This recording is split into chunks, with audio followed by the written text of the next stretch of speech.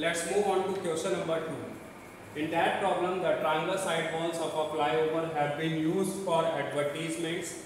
The sides of the walls are 122 meter, 22 meter and 120 meter. The advertisements yield an earning of rupees 5000 per square meter per year.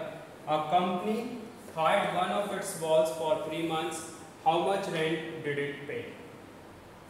Let's start with its solution.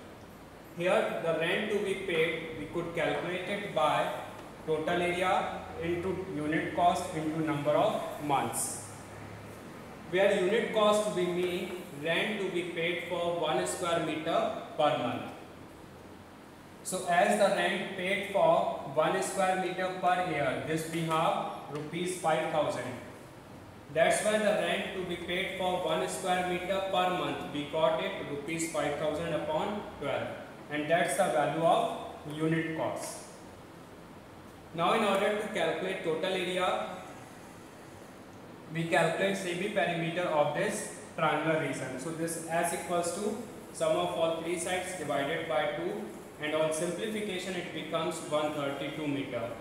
Now total area using Heron's formula we have under root S 132 S minus A 132 minus 122 S minus B. So it is 132 minus 120 S minus C.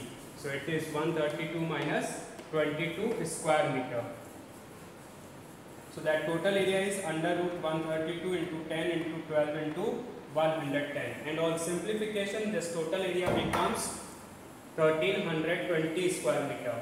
Let's use this total area 1320 square meter, unit cost rupees 5000 upon 12 and number of months which is 3 actually in this relation. So that rent to be paid becomes 1320, this unit cost is rupees 5000 upon 12 and number of months is 3